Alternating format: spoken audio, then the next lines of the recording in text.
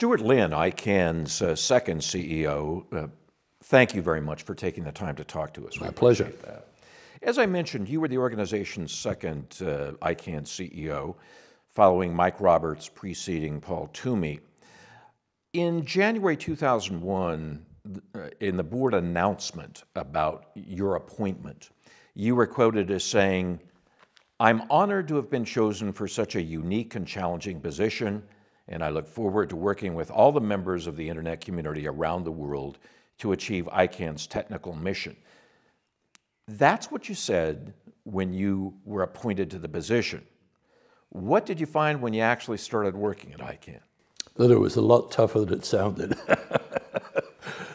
Those were good words, and they were words full of intent. And it took a lot of hard work, not just by me, but by a lot of great people to, to make, make it possible for ICANN to achieve its mission. Stuart, you, you weren't from the ICANN community. Did you have a, a, a steep learning curve? I had a very steep learning curve. I had some great teachers, uh, Louis Touton and Andrew McLaughlin, and of course the board as a whole. Uh, so I had some great teachers, but uh, I didn't come from a background that was deeply immersed in ICANN, in, in uh, ICANN and so forth. I mean, I was a big user of the internet and part of it, but not um, of ICANN itself. How did you get the job? How did I get the job? Well, I've often wondered that myself. okay. but uh, uh, I was invited to apply and I suspect that the reason I got the job had a lot to do with Mike Roberts, who was my predecessor as a CEO. But Mike and I had worked together for years in the university, in the academic community. And Mike knew me well and knew what kinds of things I'd accomplished. And I think he was very influential, influential in that. I, you know, I think there was a sense that universities are crazy places with a lot of uh, vociferous people mm. with very different points of view, and that that might have been a good training ground for ICANN, and uh, to some extent it was, but not as much. When you came in at the beginning of your term, you were there for two years. Right. What did you see as your number one challenge? Well, because my number one challenge when I came in was learning about all the different communities, all the different interests, the, the whole ICANN ecosystem was something that I knew something of, or parts of it, but I had a lot, a lot to learn. But then it became clear, at least to me, that the biggest challenge was what of what does it take to make this work? Because it appeared to me that it was very fractious at the time, which is not surprising. I mean, it was incredible how far the founding parents of ICANN have made it come. And in the couple of years before I came, came on and the concepts that they put together. But it still appeared to me that it was not working, and that troubled me very much during the first year of my uh, tenure. Stuart, that's interesting. You say it wasn't working. The perception now, many people are unfamiliar with ICANN's earliest stages. You were one of many of the founders of ICANN, the initial people who were mm-hmm. there uh, during its early stages, who seemed to express it, its future wasn't at all guaranteed and it was very no, uncertain. Absolutely. I mean, there were uh, enough entities and individuals. I mean, the criticisms were, if you look at the early blogs and so forth, I mean, the criticisms were loud and continuous. And um, but, you know, in spite of that, there were always people, good people, the board of ICANN, um, not the staff, of course, but people out in the community who I think really wanted ICANN to succeed in spite of its dangers and were willing to put their shoulder to the wheel to help make that happen. And I'm talking of people like Vint Cerf, of course, who was chair of the board when I was there, wonderful chair, and people on the board, and outside of the board, and then there was always the question of, if not ICANN, what? Um, you know, if you take ICANN away, how are you going to put Humpty Dumpty together in a way that would really work? I mean, everybody who had a special interest would see their role as being critical and key and the most important, but it was how do you put the community as a whole together? And there was nothing else on the table that I can remember where there's any positive proposal of what it should be other than ICANN, except possibly the ITU. In other words, uh, it's easy to see the problems, particularly in those early days, but what's the alternative? Well, exactly. I mean, it's, it's, uh, the, the problems were obvious. I mean, we were trying to literally put Humpty Dumpty together. We had lots of pieces that were not in sync with each other. And that, in a way, was the beauty of ICANN as well. It was a place for bringing those pieces together, but it was going to take a lot of hard work over several years to make that happen.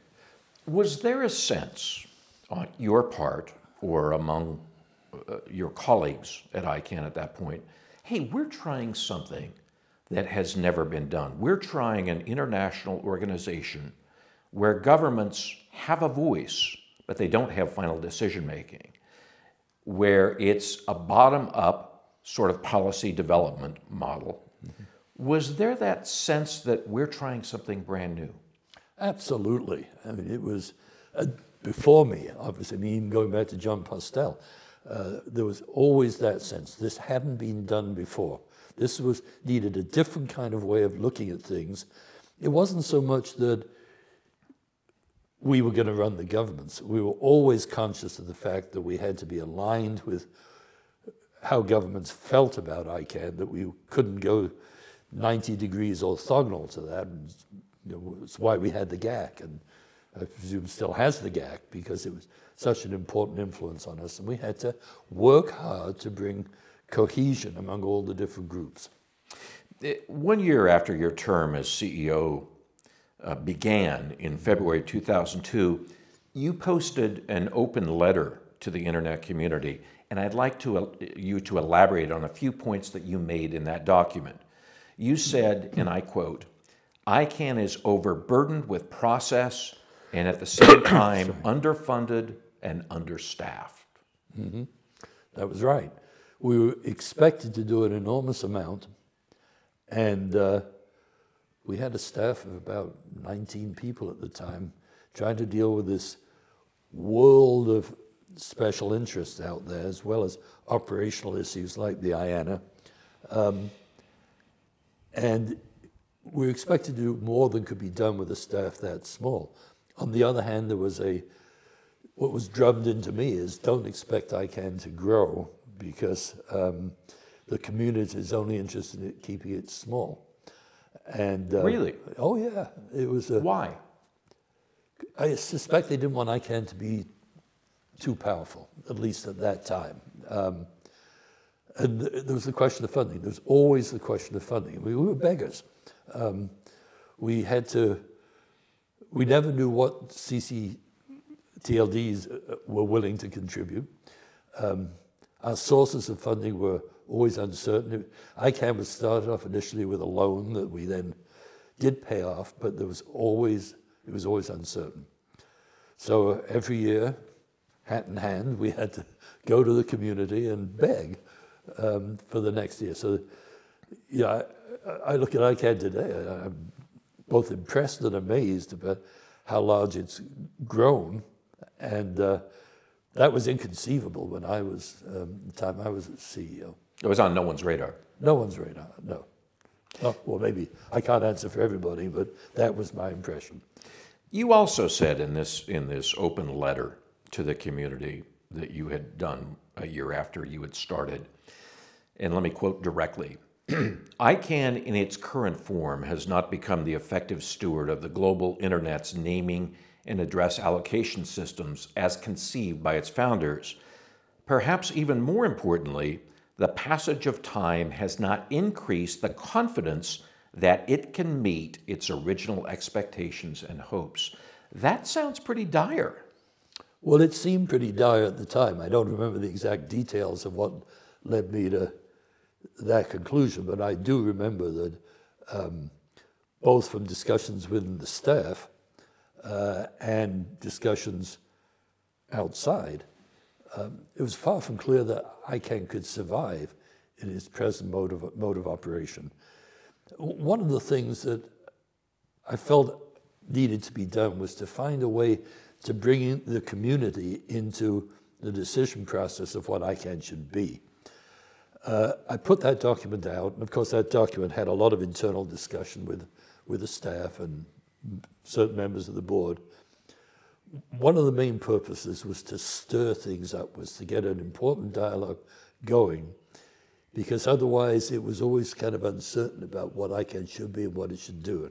If it's going to be effective, then ICANN needs some cement between its building blocks that would help it really survive into the future.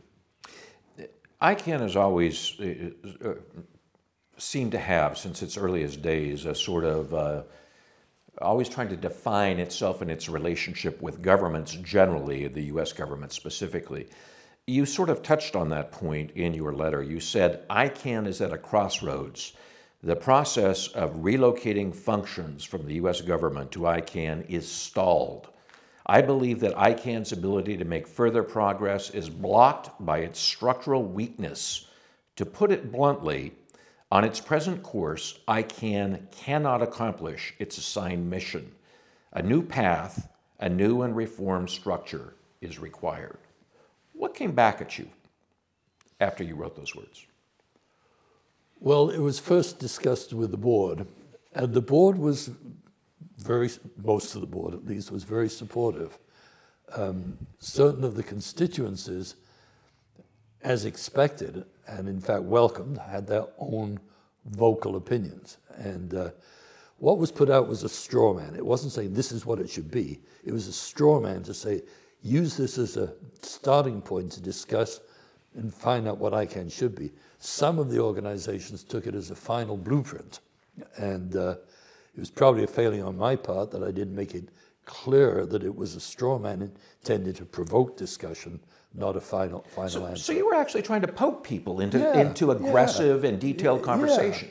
Yeah.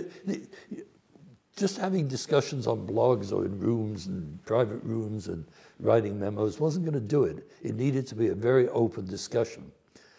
And, and subsequently, the board took on the challenge. Uh, Alejandro Pisanty did a brilliant job of chairing a board committee to help bring that constituency involvement together and, and to help define what ICANN should be going, going forward. So what was the toughest part of your, of your job at that time? Well, the toughest part, of course, was, I mean, there were two toughest parts. the travel was tough. People think of travel as being this great, big, wonderful thing. But as far as the job was concerned, it was trying to find a path to bring constituencies together and not and putting the interests of the internet as a whole ahead of parochial interests. What do you mean? Well, you're asking me to go back 20, uh, 18 years. Right, uh, right, right.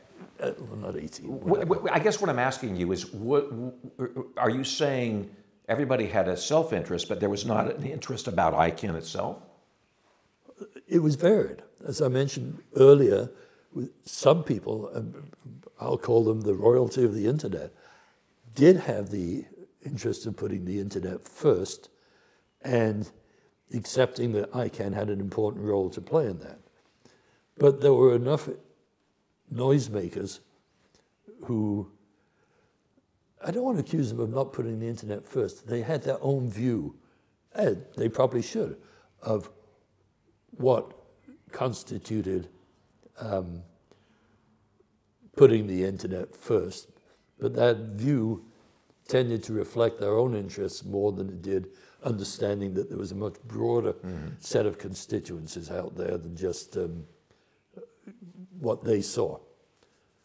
The, and it sounds like in, in doing the background in, in, when I was researching for this interview, it sounds like your correspondence, your letter, your open letter, had the desired effect. It sounds like it did. It was successful. It certainly prompting. provoked a reaction, and some very strong reactions. And I, th I think uh, people thought at the time that maybe I didn't want those strong reactions. In fact, they were, they were exactly what was wanted, because it created discussions that need to be aired in order to bring to, to create a path going forward. Let's, let's go there for just a minute. talk to me about the so called program of reform that followed your letter. Um, and I'm not, I don't care about the exact details, but where did that want to take the organization? Well, it wanted to, to, to, it wanted to take the organization to where it had a firmer foundation moving forward. The details of what happened, um, some of the recommendations, I think, or statements in the straw document were adopted. I mean, I know I personally felt that there needs to be a, um, a clearer role for the CCTLDs, which were part of that time what's now the GNSO and the CCTLD SO were part of a single organization, and its input was largely do dominated by the generic domain holder, um, registr registries. Mm -hmm. um, I felt strongly that the CCNSO, it was more than a straw man, uh, needed to have its own voice independently, get uh, access to the board with its own recommendations, because their needs and their role in relation to ICANN was very different than that of the GNS, uh, generic domain name. And up to that point, that had not been a consideration. No, no. Well, whether it was considered, I don't know. It wasn't implemented in, in fact. In fact, the concept came up right on this, right out here in this patio. I invited some of the um, CCTLD folks out here. Theresa Swinehart came out, and we had uh, some free-ranging discussions about what should it look like and help put it together. And, and that was its birth. That was its birth, yes. So that, and uh, there was a serious question as well as what should be the uh, future of the at-large community. Um, Carl Bildt, the former Prime Minister of Sweden, had uh, kindly chaired a committee to make recommendations as to how the rest of the internet community, the users and everyone out there should be involved and uh, came up with some recommendations and there were serious questions about should we, how should we construct, construct voting constituencies that can elect at large members to be part of ICANN. And it was an impossible problem. And uh, so we made some recommendations of putting an advisory committee together instead of a, a, a, an SO. Um, and that was one of the things that came out as well. There was felt a need to have routes into ICANN and into the board for individuals or, or groups who felt they hadn't been heard. And we put forward this ombudsman program as well to help make, make that happen. So that was the beginning of uh, ICANN's ombudsman program? I believe so. Yes, it was, as I recall. Yeah. Stuart, in your case for reform, you called for, and this quite surprised me, you called for more direct governmental involvement with a third of ICANN board members named by the GAC or governments. That kind of surprised me when I read that. It surprises me that I said that. no, I think what was in my mind um, going back was, again, I wanted to provoke. I, I, there needed to be a clearer understanding of what the role of governments was going to be, or should be, going forward.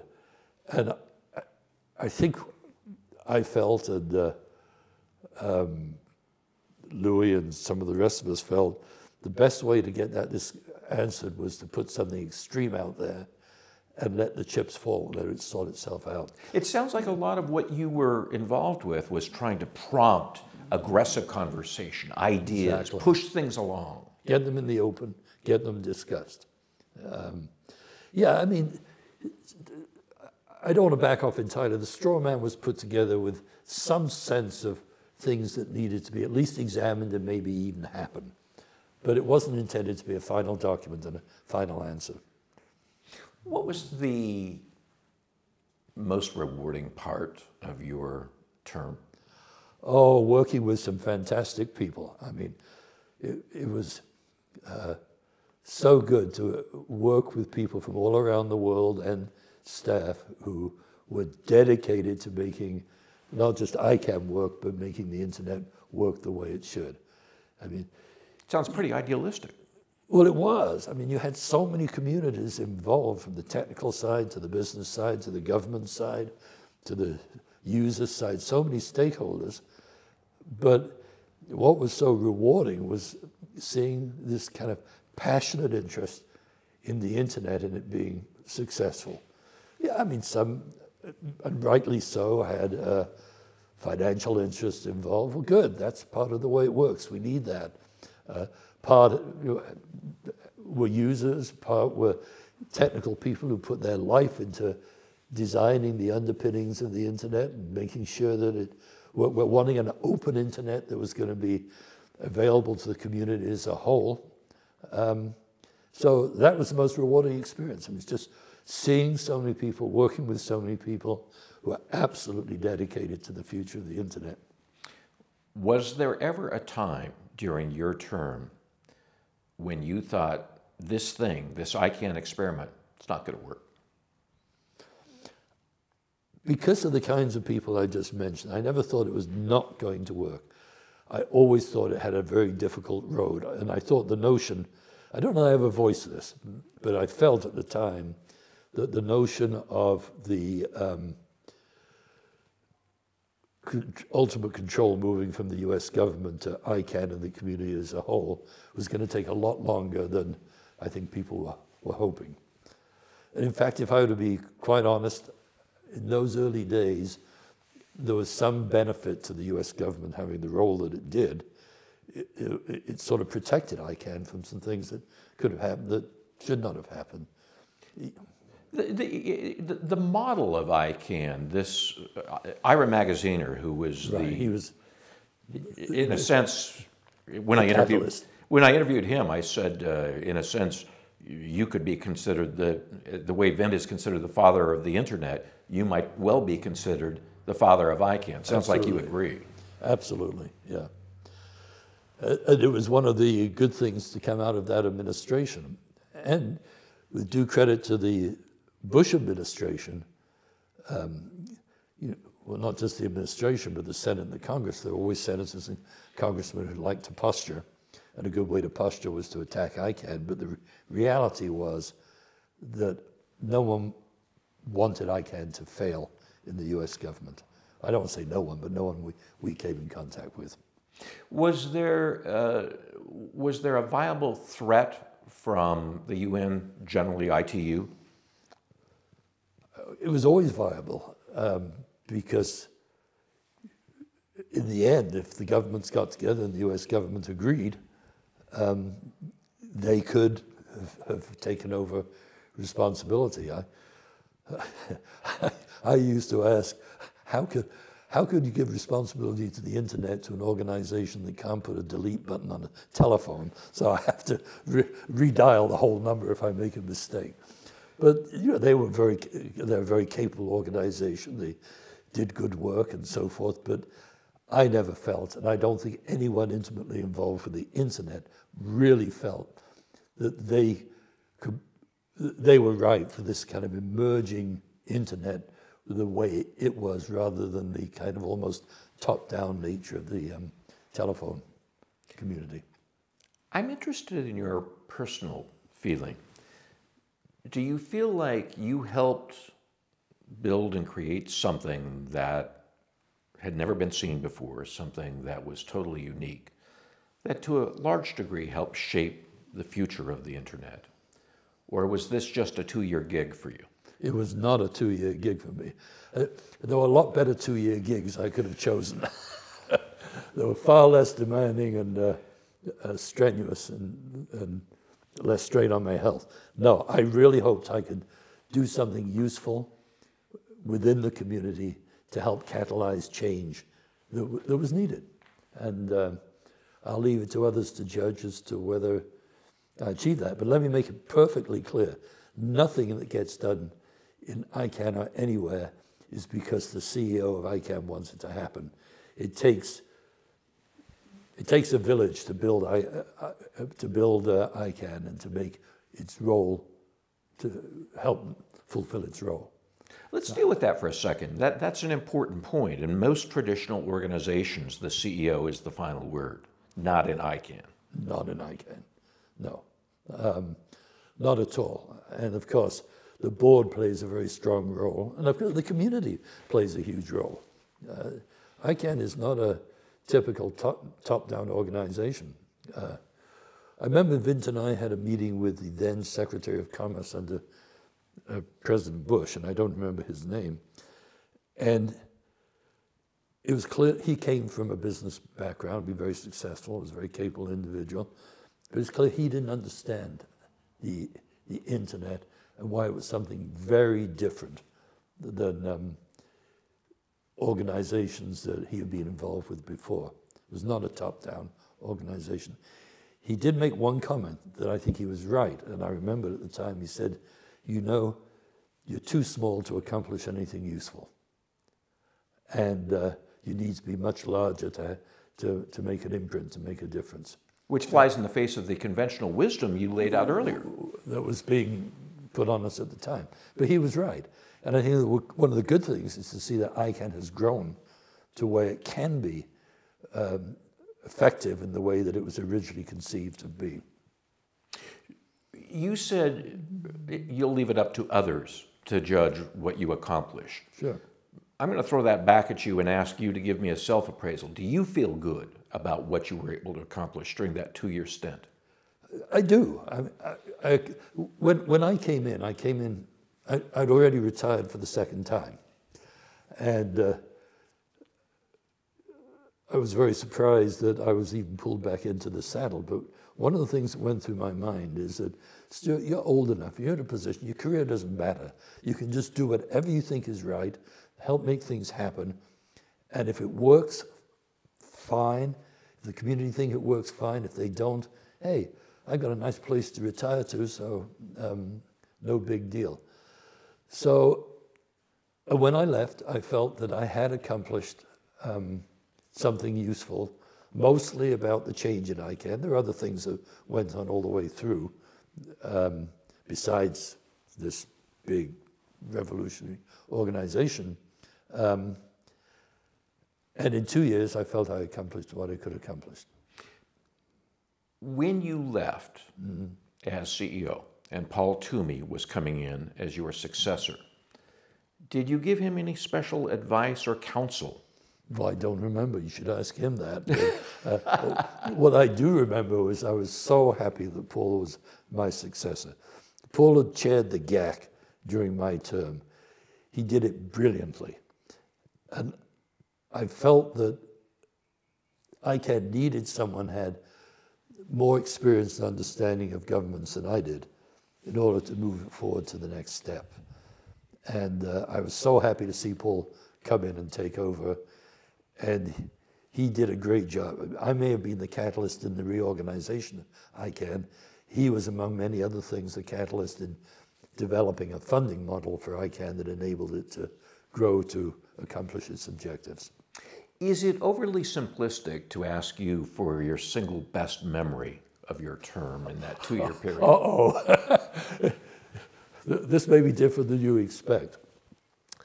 It's where I was on 9-11. ICANN had held a meeting in um, Montevideo in Uruguay. On the 10th of September was the board meeting.